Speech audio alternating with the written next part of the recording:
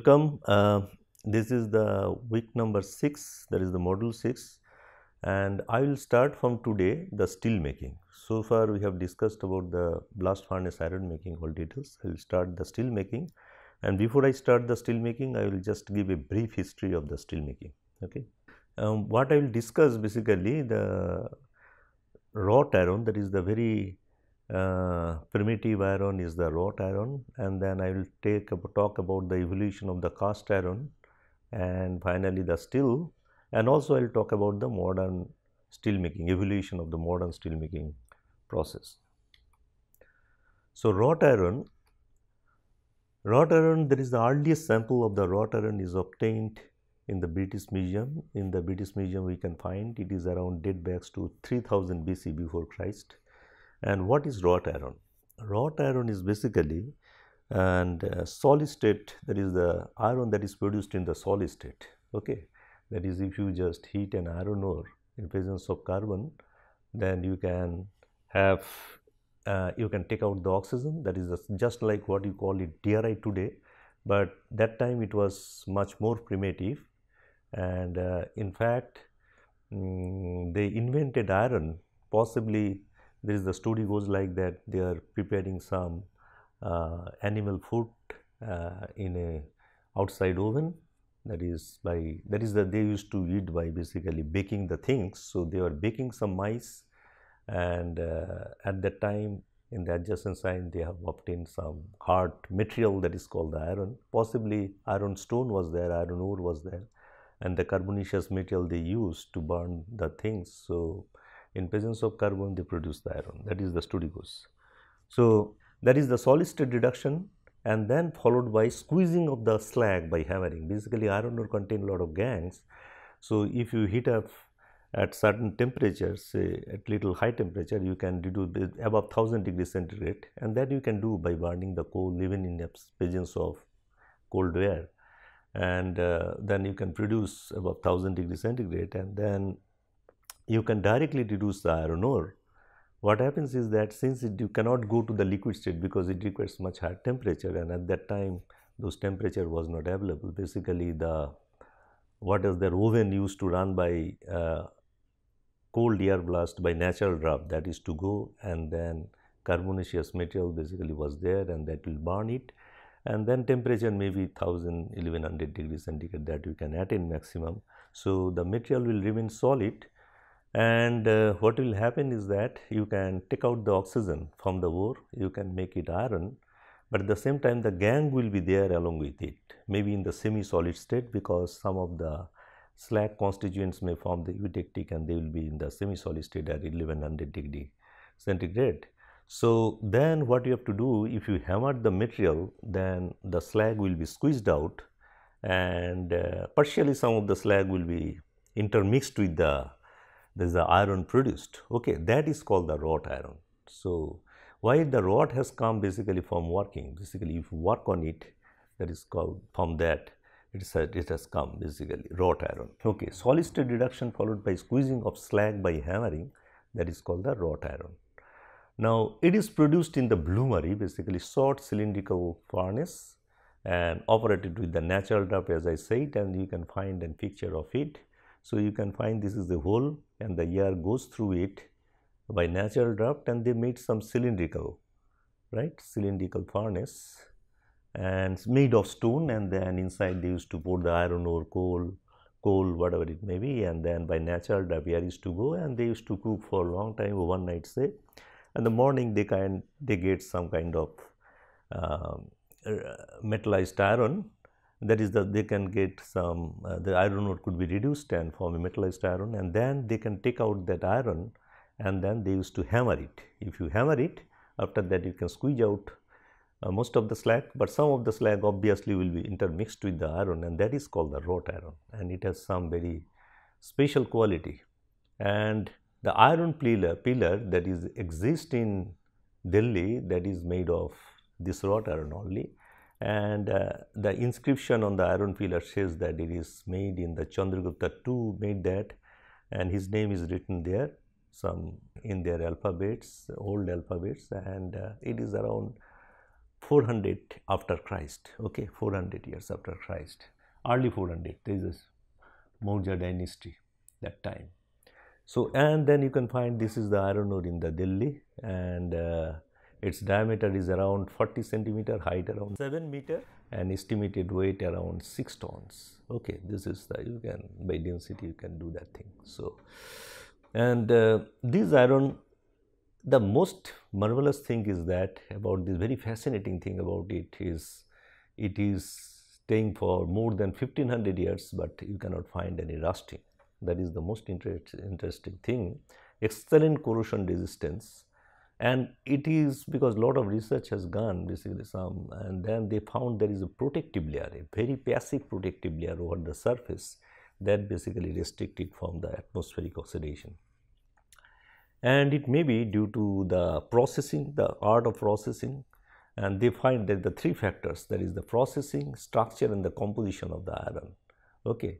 So as a result this intermixed slag basically gives this protective layer. They form some passive oxide layer outside and then never allowed any penetration of the oxygen inside it.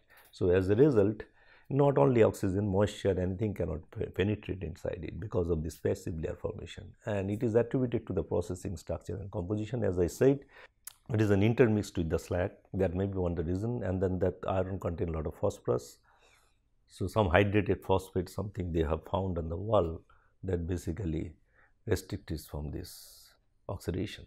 So, this is about the wrought iron. This is the very primitive, uh, you can consider this as a steel also because the wrought iron carbon diffusion will be very less.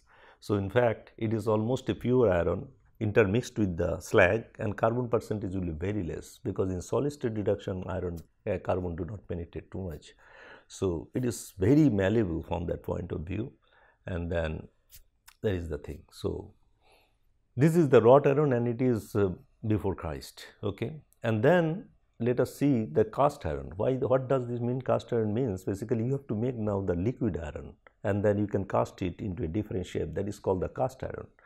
And if you see the cast iron, cast iron was first produced even before the Christian era in China.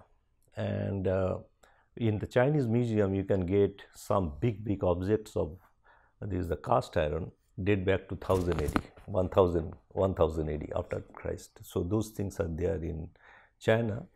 And next significant development that is after uh, then this technology basically moved towards the Europe and next significant development in the Spanish province of Catalonia, Catal Catalonia that is called the Catalan forge and what is the characteristic or unique thing is that they use the water wheels to blow the air. So, now so far they used to produce under natural draft. Obviously, natural draft was very smooth that is the flow of velocity of the air will be less or partial pressure of oxygen will be less. But if you can use water wheels obviously you can give air at a much faster rate. So, partial pressure of oxygen will also be high that is the more blast rate is increasing. So, partial pressure is high so you can attain little higher temperature also because the reaction kinetics will be faster and you can attain little higher temperature and at that temperature it was possible to melt the iron carbonized iron I will say it is not the pure iron but carbonized iron which melt around 1200 degree centigrade. So, that temperature was possible by the water wheels to blow the air and they used to produce around per 12 hours 100 kg 100 kg per 12 hours. So, it is significantly increased and then came the Stuckofen okay, in Germany that Stuckofen furnace that is the height increased by 5 meter and interior superior refractory lining was there to restrict the heat loss to the atmosphere. So, they made that and its shape is more or less like a modern blast furnace and so it is called the forerunner of the modern blast furnace and it used to produce 100 to 150 tons per annum. So, quite large amount at that time. And then so far all this furnace used to run by the charcoal, wood charcoal. And then it was replaced by the coke in Dudley, by Dudley in 1709, this is the early 18th century. So, in UK, So, this is a great innovation that is the charcoal is replaced by coke. Obviously, in that case you can increase the height of the furnace because coke is more stronger compared to the charcoal. Charcoal cannot bear much of much of overburden, so it fragment and produce dust, but coke will not. As a result, with the introduction of the coke, you can increase the furnace height and also the productivity. And then came the steam engine for blowing the air. Now, if the if you have an engine, then there is a forced convection. Now you are giving the water wheel did not have so much of power. So when you introduce a steam engine, it has much more power. So you can deliver much more air per unit. That is the per ton of iron. So blast rate you can increase by that time. So, so steam engine air blowing introduced 1760 and increase the size and productivity of the furnace. So, you can increase the size and productivity because you can supply uh, more air now. Blast rate can be increased. You can burn more amount of carbon also per unit time. Okay. So, productivity increased. Then came the preheating of the air blast in 1829 by the Neilson and this is very interesting because if you can preheat the air then obviously you can supply a lot of sensible heat through the air and you can supplement some of the heat supplied by the coke and uh, so as a result your coke rate decreased. So, coke rate decreased from 8 ton to 5 ton. So, that was the initial left thing and then further modification increased that is the by preheating temperature from 150 to 600 degrees centigrade and the fire brick linings regenerative Cowper stove that is the Cowper stove for preheating the air blast came in 1857 that is an in the 19th century mid 19th century that is you get the Cowper stove. That is the modern uh, stove but with a much higher preheat temperature. Now you can attain 1200 that time 600 degree centigrade you can attain by that Cowper stove. So it increased the preheating temperature and reduced the coke rate and then came double bell charging in 1880 double bell charging there is a charging system. We understood the importance of the charging system. Otherwise uh, it was polluting the atmosphere because where you are charging the gas can escape through that. So lot of pollution will be there. So once comes the bill top double bell charging you can restrict the gas leakage through the charging. So that was so pollution point of view it was very good. Also the burden distribution point of view also and then gas cleaning that is the electrostatic precipitator when it comes then gas cleaning become more effective. And then utilization of the blast furnace gas for the gas heating that is the Cowper stove as well as downstream application came. And further development we have discussed already the modern blast furnace development how the coke rate decrease over the time I have already discussed. So, this is the primitive that is uh, how the cast iron evolved over the time that is the so it was there actually uh, started from pre-Christian area era that is the BC it started the cast iron was started in China and then progressively it moves to the Europe and then a lot of development take place on the cast iron. So, rest of the development in modern blast furnace I have already discussed. Now, I will go about the steel, how the steel developed basically. First is the cementation. As I said, that is the wrought iron is basically a very pure form of iron okay, and with a very low percentage of carbon. And also I say it that the pure iron is very malleable, it is very ductile, but strength is not that much. So, if you increase the strength, if you give some amount of carbon, some impurities into it, then strength increases and increases as you know as a physical metallurgist because of lot of strengthening mechanism come into picture, solution hardening and uh, precipitation hardening, dislocation pile up, all these things are there. So, you know a lot of strengthening mechanism come in when carbon goes into this system. Now, too much carbon again not good because it makes the iron very brittle. So, up to 2 percent carbon you can have different kinds of steel, mild steel, medium carbon steel and high carbon steel and those are malleable still and with a high strength. So, there is the wrought iron was also very, very, that is the strength was not very high because the carbon percentage was very less. So, people felt to increase this hardness. So, then what is that? There is the heating the wrought iron in presence of carbon in stone box that is called the cementation process. What you can do, you can increase the carbon into the wrought iron. That was the thing. But if you do that is the carbon will increase in the surface area only because the penetration to the center will take a lot of time. So, that was not possible. So, this type of wrought iron cemented wrought iron was very hard on the surface, but very ductile inside it core remained very ductile and the surface become hard. Okay. So, that was the that was called the steel. So, it is a reverse steel making. First you produce a pure iron and then you incorporate the carbon into it. Unlike today what we do, we produce a hot metal liquid iron with lot amount of carbon and then we purify it to reduce the carbon to the level where the strength and ductility is optimum, right. That is called the steel.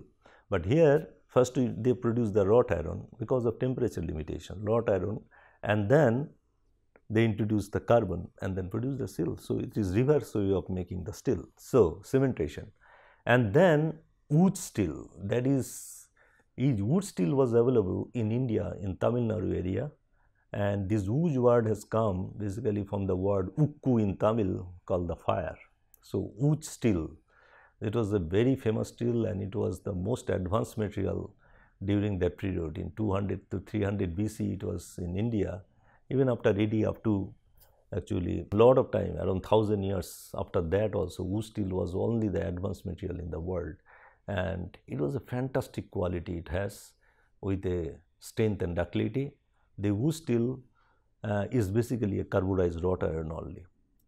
And uh, possibly they produce the way the processing and all these things detail is not known but major thing is that they take the wrought iron first produce wrought iron and then carbonized it but the steel has a very good quality. And this steel there is the famous Damascus sword was made of in the Middle East was made from the wootz steel. Because wootz steel was only the very high quality steel at this time and it is exported to different areas. Okay? Including this Middle East and where they produce the Damascus steel with this. In producing it they further they hammered the wootz steel maybe the number of pieces of the wootz, uh, wootz steel was hammered to form some kind of ingot and then hammering to produce the sword and then heat treatment of the sword was very important. There is special heat treatment, quenching, air quenching, normalizing, whatever it may be. And then the sword that was obtained is a fantastic quality. And uh, today now it is known that it is an alternate bands of cementite in the matrix of temper martensite or ferrite that is the structure. So, and it has a very high carbon steel with a excellent plasticity is possibly the high carbon only limited on the surface. So, surface become very high hard that is the that is required for the short, but the center was very ductile. So, you can hammer it easily. So, it was hammered and moved away. So, all these things basically give a very excellent this is the this is the Damascus steel texture of the Damascus steel it looks like this. So, and then after this wootz steel, this area basically wrought iron and cementation, this is area we came the first liquid steel making because liquid steel making requires a very high temperature because uh, and uh, that was first Huntsman in UK 1740. He was he could make the steel in the crucible obviously the carbonized steel. So, uh, with the chemical fuel with the cold air cold air and the chemical fuel burnt and then whatever the temperature around 1400 degree centigrade. But by that temperature the you can melt a high carbon uh, that is the carbonized uh, wrought iron. So, he, he, was the first person who melt the carbonized wrought iron and to homogenize the mixture with the carbon right. So, that was the thing. So, this is called the crucible he could make in the crucible in a very small scale and in the large tonnage scale first steel making came in the Bessemer process in 1860 I will talk about that thing. And then alloy steel is a very recent phenomenon. Is maybe 100 years old. It is the early 20th century. There is the alloy steel came. And uh, so modern steel making I will talk about some modern steel making. So to start with uh, let us talk about the Bessemer there is the Henry Bessemer he invented this technique in 1860 okay? So what is that? Basically this is a is the first economic tonnage liquid steel production from the molten pig iron that is the 152 uh, 52 uh, or 10 to 50 tons. Basically that time lot of basically you see by that time that is the cast iron was uh, people were making the cast iron in the stoke oven. Stoke lot of liquid iron was being formed and th these were cast. But so several places the liquid iron was there. So Bene Bessemer wanted to convert those liquid iron to steel that is to purify the liquid iron okay, to take out the impurities okay, by oxidation. So that was the first uh, that time and it was needed at that time iron purification by purging of air into the melt. So this the furnace will show this is the autogenous process because autogenous process? Because you are purifying the uh, liquid iron by oxygen. You are oxidizing the impurities like carbon, silicon, manganese and as a result you are generating a lot of heat because all these oxidation reactions are exothermic. So, it was an autogenous process. No external heat supply was required. But it was just sufficient to purify the hot metal. So, you cannot use any extra cold material. That is the scrap you want to melt into the basement not possible because it was just sufficient to convert a liquid iron to the steel. Okay.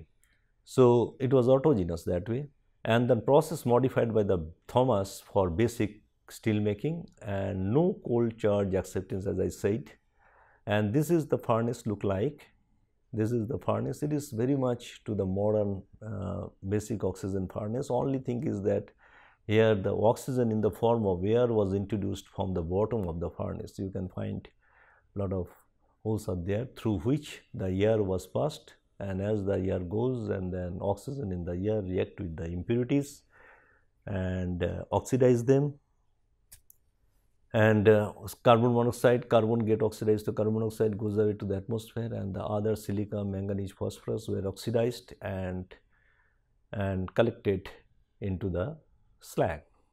But initially the phosphorus removal was not possible for the own reason you know you cannot remove the phosphorus preferentially without you make the slag basic. That is why that is the Thomas modified this process for the basic steel making basically make the lining basic and also use lime such that you can reduce the phosphorus content significantly, right. So, before that before Bessemer process was an acid process, it is called the acid because the slag is acidic and there you can only remove the carbon, silicon, manganese not phosphorus. So, when Thomas modified this process with the basic lining and lime, limey slag, then he could remove the phosphorus also. So, it was a perfect uh, refining unit was there, unit was established. And then the major drawback of this process was high nitrogen because you are charging air not oxygen as we do today. So, it was charging the air, air contains 79 by volume percent nitrogen. So, that nitrogen dissolve into the liquid steel to great extent because obviously because the air bubble moves and the bath was not very deep so shallow bath. So, oxygen residence time was air residence time was not very high, but by that time obviously lot of nitrogen also goes into the steel. So, nitrogen content was around 200 ppm. So, it is quite high 200 ppm very high and nitrogen makes very brittleness into the steel. And nozzle maintenance was another problem. The maintenance of the nozzles was another problem because from the bottom you charge the air. So, there is always chance, chance of flooding the nozzle by the liquid head. So, later on the nozzle uh, Thomas also uh, shifted this nozzle to the side such that nozzle problem decreases significantly, but this furnace has limitation of no cold charge acceptance as well as high nitrogen content of the liquid steel. So, that is why they went for some time, but they are not sustainable. But this is the forerunner I say this is the forerunner of the modern LD furnace because only change is that you are charging now pure oxygen and that too when the cheap oxygen production came into picture and then it was shifted to pure oxygen furnace. So, now oxygen is lanced from the top in the LD otherwise reactor look like this.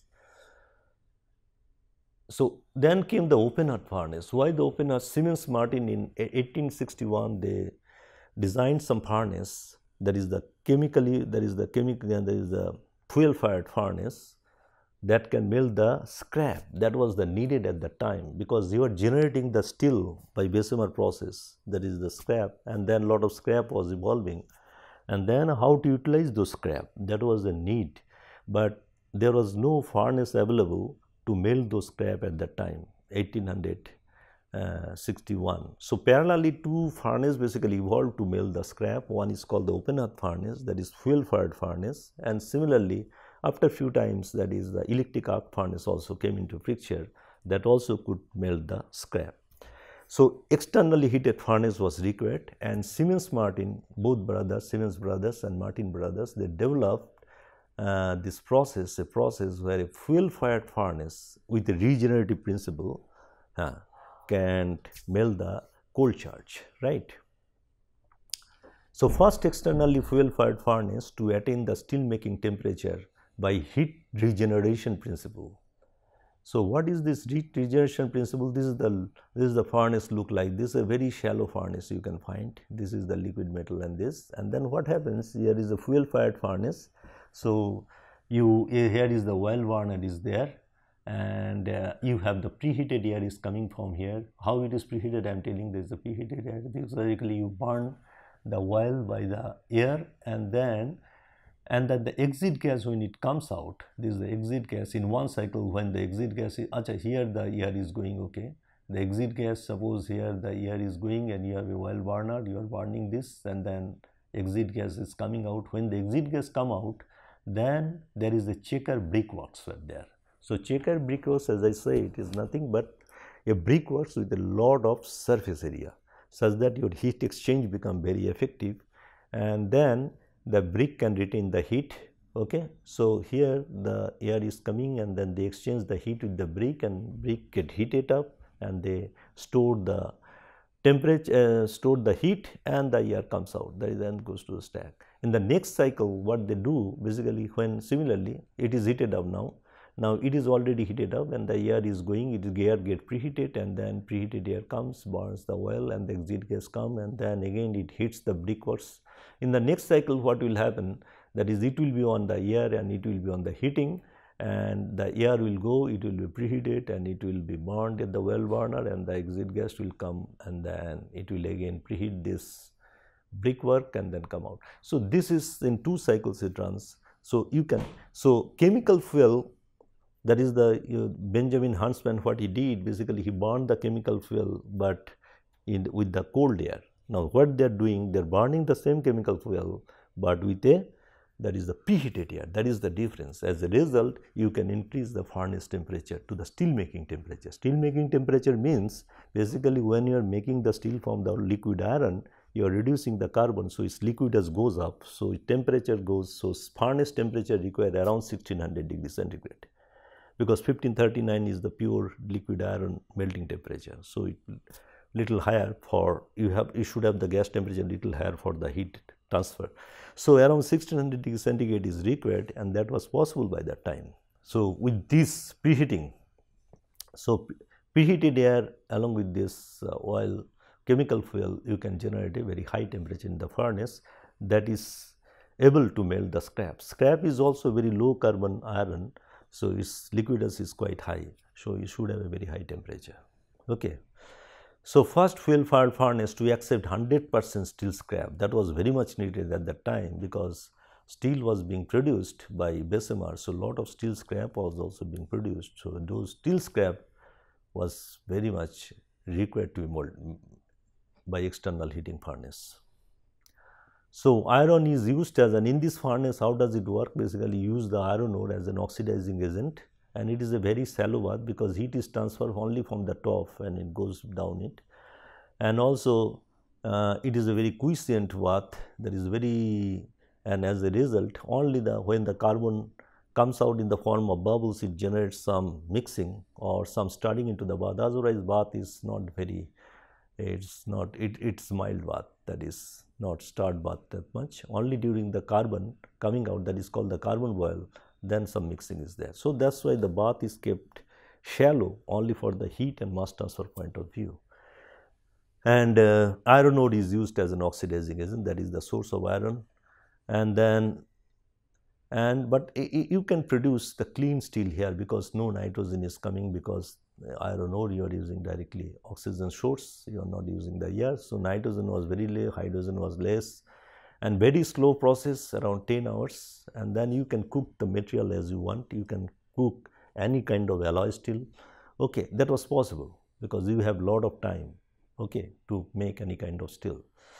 But major problem is the time, that is the time. And later on the open hearth furnace, not only for the scrap melting, later on uh, when it was developed later stage, it was uh, handling the liquid iron also. Liquid iron co contains lot of uh, that is the impurities as a result the slag volume in the furnace was also increasing and it was very difficult to handle a lot large amount of the slag volume that is why they make some port here at the top that is called the flash point. When the slag exceed that point, then it will automatically flash off from the furnace. As a result, the liquid height will remain constant, the slag height will remain constant.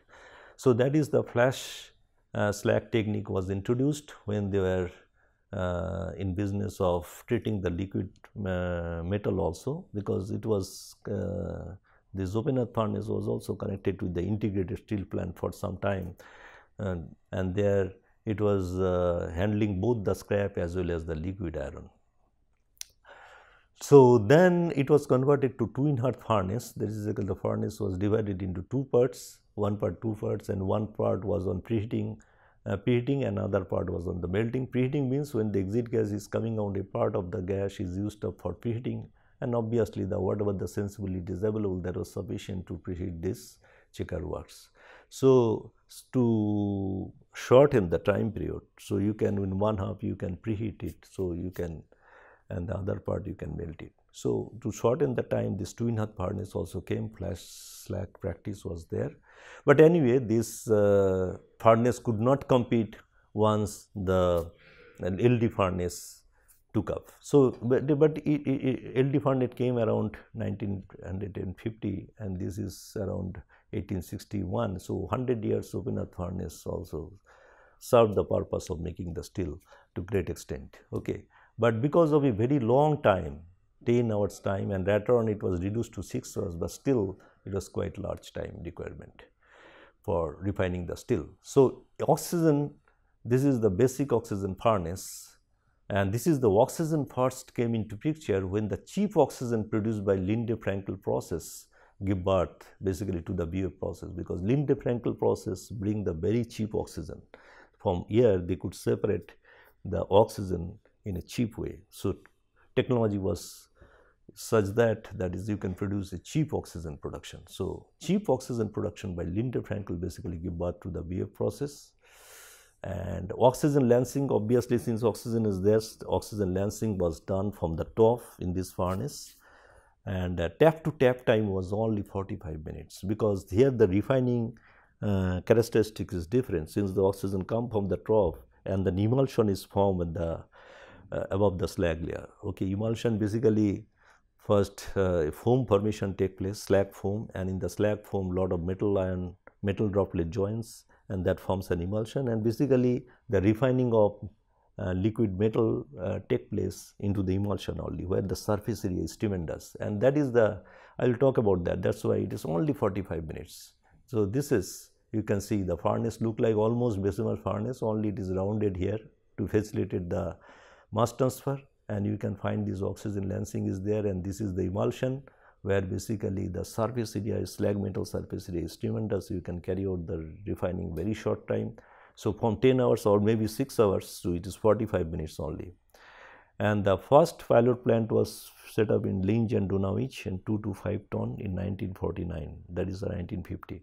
So, after that once LD came into picture then slowly the open hearth phased out because of very large time requirement from productivity point of view. Presently, its capacity is 100 to 400 ton. There is the LD furnace is available nowadays. Okay, it is also an autogenous process, not only autogenous because oxygen is coming, but since the partial pressure oxygen is very high here, your basically heat generation is also quite high. So, you can accept some amount of cold charge also. And then came the electric arc furnace I said the electric arc furnace was introduced uh, that is two type of uh, electric steel making there one is based on the electric arc and heat source is electric arc as you can understand and first successful commercial application was by Heroult in 19, 1899. Okay. So, and then suitable for the small industry 50 to 100 tons it was there and you can melt the scrap and produce any kind of alloy steel because it has a lot of flexibility in the refining i will talk about that flexibility into the input material also you can take any proportion of the hot metal if required because if you want to take this furnace in integrated steel plant also it is possible nowadays and you can take any kind of raw metal mix and uh, bigger EAF for integrated steel plant is also 150 to 300 ton now it is also coming. Okay, induction furnace as, as the name suggests basically heat is generation by the eddy current dissipation into the hot metal. So, eddy current is generated into the hot metal and then or the scrap or whatever the metal you are giving that is the scrap you are giving. So, eddy current will be generated and that will melt the that is those uh, scrap and then and it has a very good mixing I will come about that thing and then refining is limited I will talk about that thing. So, this is the thing that is the your induction furnace was there. So, here basically heat source of heat basically eddy current dissipation into the charge material and that basically melt it and finally refining also take place to some extent, but it is mainly for the scrap melting and limited refining.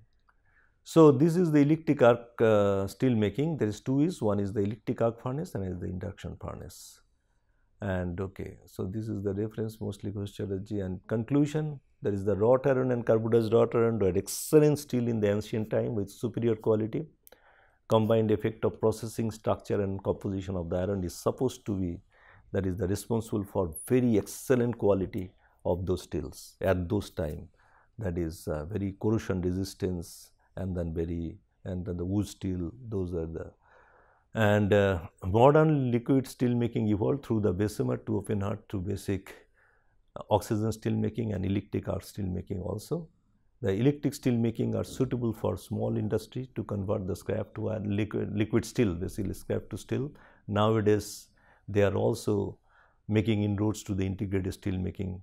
As I said because now bigger electric arc furnace is coming and they can they have a flexibility in the raw material. They can take uh, any proportion of liquid steel with the coal charges. That is the most advantage. And coal charges are scrap. It can be the DRI nowadays.